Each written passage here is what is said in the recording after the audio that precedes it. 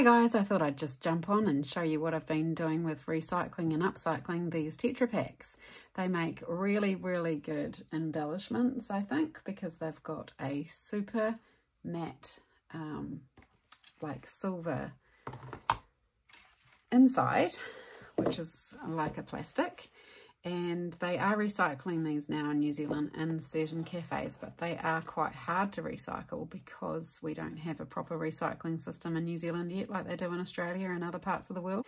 But I was thinking of um, I could use them in my journals. Um, and you know it's, it's going to save me buying any silver cardstock um, which is cool so I like that idea. So I thought I'd show you what I have been doing with it and how it works and some tips and tricks for, you. Um, and yeah so the first thing you're going to need is some scissors. Now those are my old old old dressmaking scissors. Um, so they I only use them for cutting paper now. Um, but you could use, use your use fairly strong scissors or some utility scissors um, would be really really good. Um, now just just a tip. I did have to get some off a friend of mine to start this off because I'd recycled all my packets and didn't have all my cartons and didn't have any to hand. And they hadn't been rinsed properly and man they stunk and I ended up having to chuck them out.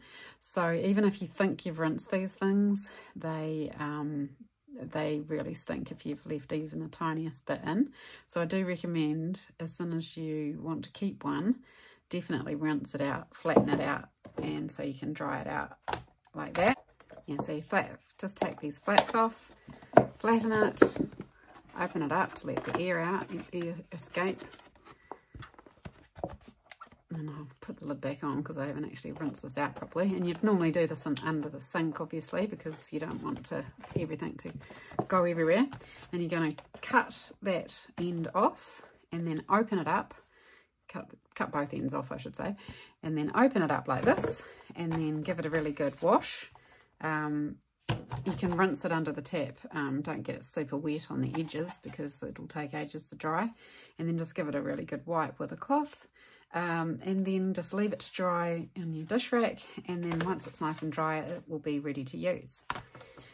So that's that part and then I'll just show you some samples of what I have been doing with it. So it's a nice thick um, sort of card which is really good for embossing um, but you do have the problem that it is a shiny sort of surface um, so when you want to adhere it to something you're going to have to think about what um, glue you use or what adhesive you're going to be using.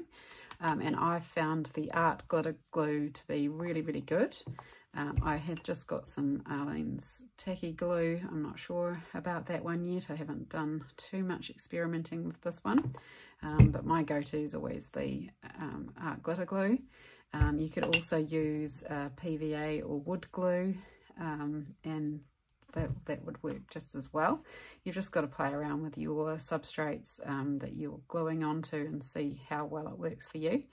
The other thing you can do is um, you can peel it. So just cut some.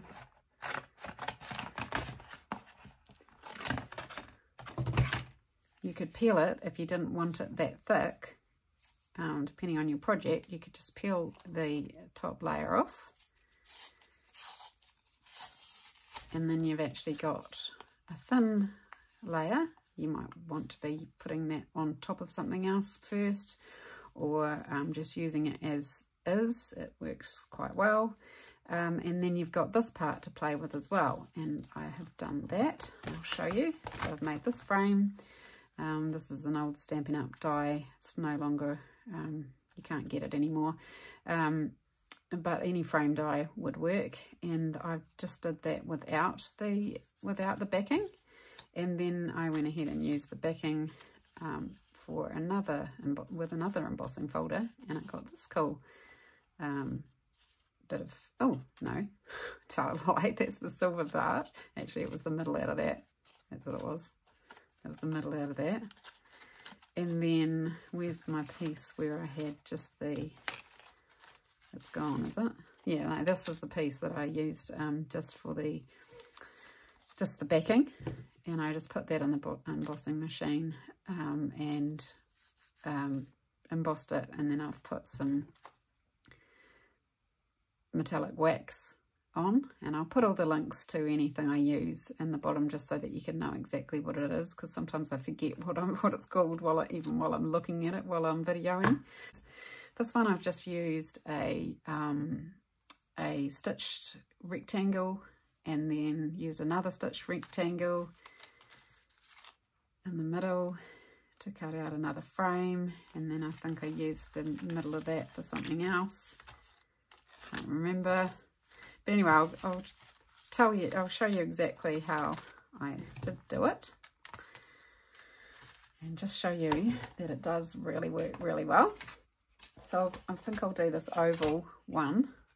I'm just going to cut, and I'm not going to worry, oh, maybe I'll do it this, I was going to say I'm not going to worry if it goes over the folds because I'm going to emboss it, and I'm not worried that it's not going to be perfect. This is going to go in my junk journals. I'm not making super um, super fussy things anymore in my life. I am moving on and getting on with creating and I'm not worrying about whether it's perfect or not. So I'm going to go over that line. It doesn't matter. So with this um, die, this particular die by Stampin' Up, no wonder it retired because it came out, I think, just before Tim Holtz brought out his fabulous die, which does um, the cutting and the embossing at the same time. So I'll just run that through my Big Shot.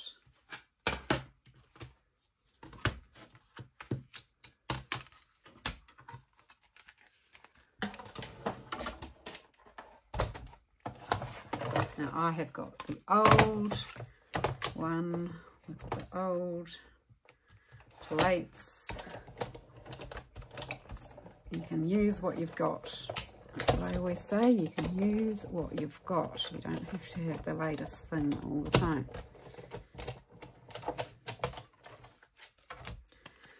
So there we go. Although I do wish I had that Tim Holtz um, little frame die because it's awesome. Um, you don't have to worry about faffing about like this and getting it like this. But this is a really beautiful frame um, die. If you do see it secondhand, I do really like it. It's just a little bit of a hassle getting it lined up. And I never get it perfect, but I don't care. Doesn't matter. So I'm going to run that through. And I need on that one, I think. So I'm just going to run it through. I need it with that and one plate, I think.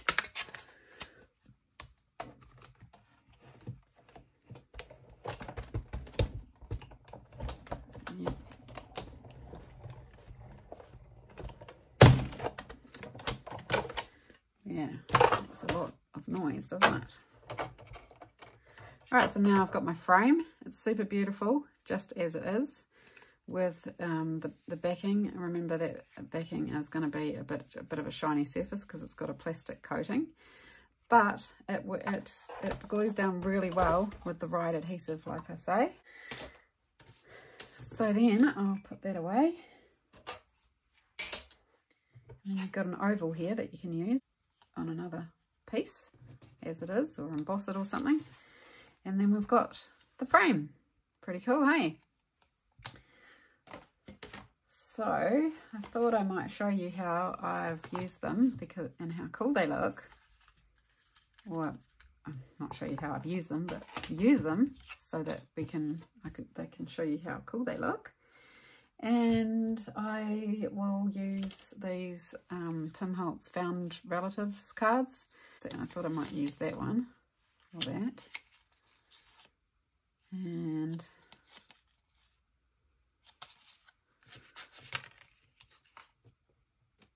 maybe that one for her.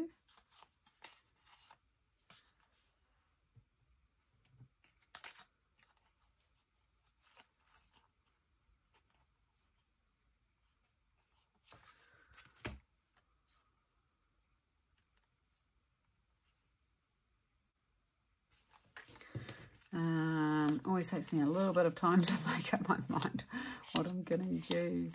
But I think that is the best one. Over here.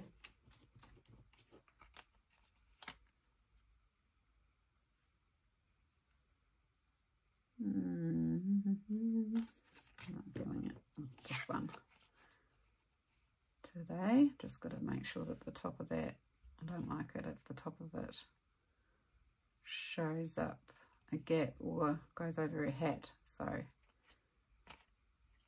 that's cool. I'm going to use that one. So I am just going to snip off the bottom.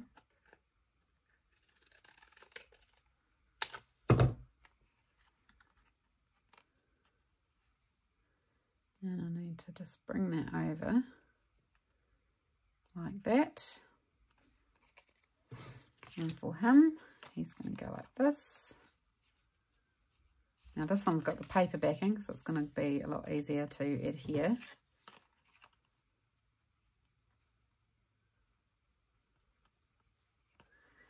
Snip that off. Careful.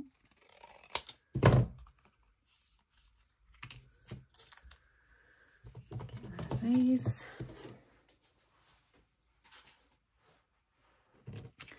Now I'm just going to use my art glitter glue that I've got on this um, icing bottle because I couldn't get any of the um, the little, actually I might do it on that.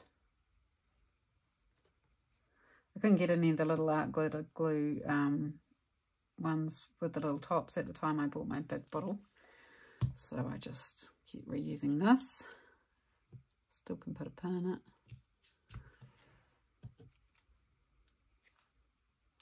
Uh, glitter glue is amazing because it dries clear and matte. So if you, you know, have a little squidgy, it doesn't really matter. And I can just wipe it off with a bit of cloth.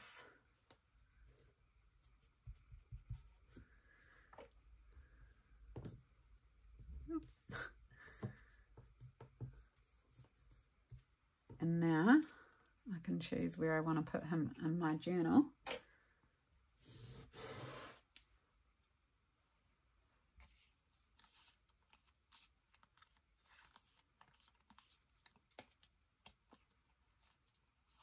Have also used tape for this.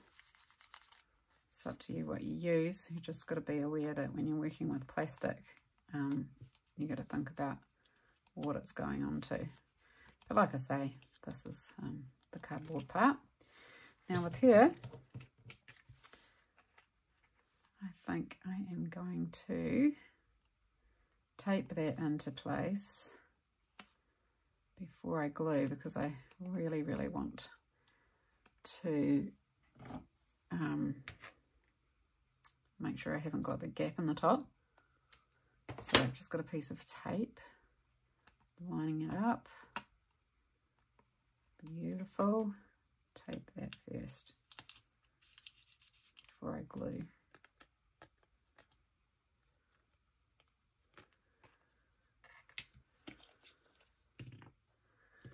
I just find um, don't go through as much glue when you're using this liquid art glitter glue either.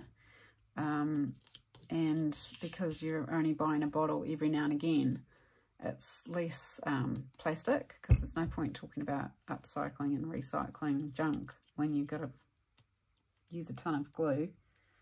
I'm actually going away from glue sticks altogether now um, because they just, you know, I just go through so much glue that I end up with all these plastic tubes and to be honest glue stick doesn't really work for me you know you can come back and rip it off later um, rip off the piece later and you don't even know. So that's, anyway, I'm sidetracking. But this is um, turning out quite well. I like that. I like that. So that's one option. And I can actually probably just put it straight into my journal right now. So you can see what it looks like. Let's find a place. Let's find a place. Oh, actually this would look good right there. Right there. Beautiful, eh? I might just put that down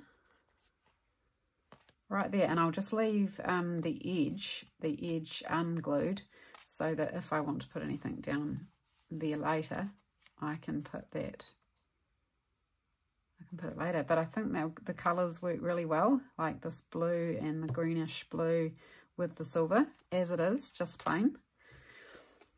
Left untouched, super simple. And just leave those edges um, not glued so that I can slip something under the edge later if I want to. I've been doing a lot more um, unthinking, like just um, putting things in straight away, not thinking about it too much.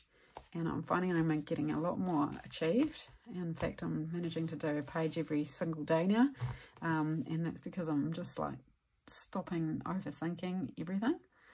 Um, yeah, so these two might not go together, but I can move here because she's just on a clip.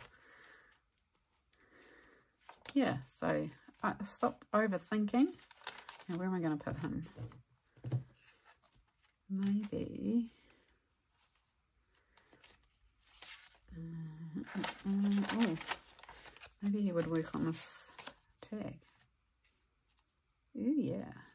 What does he look like when he's tucked in? Mmm, that looks cool. Well, that's cool. I like that. I'm going to put that there. I'm hmm. not going to worry about not doing the edges because I'm pretty sure I won't put anything else on there except for maybe some words down the bottom. Oh, and I want it super glued down under there actually so that I can slip it out of the in and out of that pocket without it without it catching. Excuse my sniffing.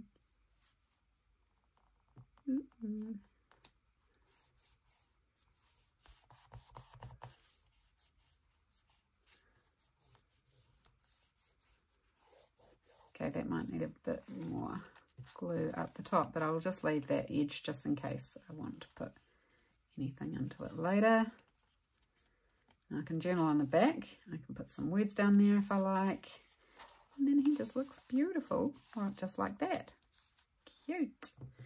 Now the other thing I um, did with them is when um, when I had the backing, um, and I had the backing and, you know, I'd separated the pieces. I thought, well, what am I going to do with this? Because that is just a piece of rubbish. Um, but like I said, I, I did do, do some embossing without, um, and, but then of course you've got this issue um, of the plasticky sort of coating and if your adhesive works well that's all good but you can also just attach things can't you you can attach things with with a stapler. You don't have to um, you don't have to glue things. You can attach it with a stapler or you could use your um, your Crop-A-Dile and attach it that way.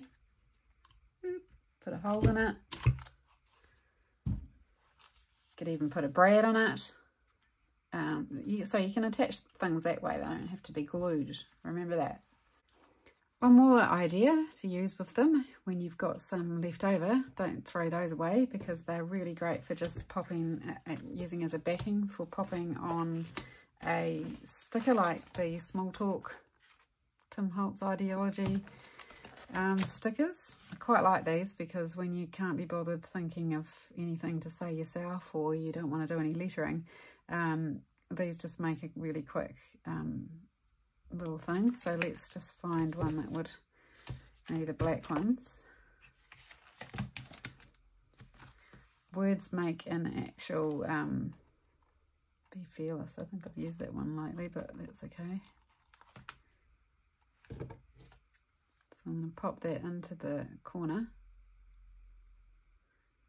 Words at the moment I'm using a lot of words on everything. All my pages seem to have words because I just feel like they need them at the moment. But sometimes um, you might, you know, you don't have to have words obviously, but um, they do add another element to the page and I'm finding them quite cool at the moment. Using my giant scissors when I don't need to. And there we go. That is a very cute little edge.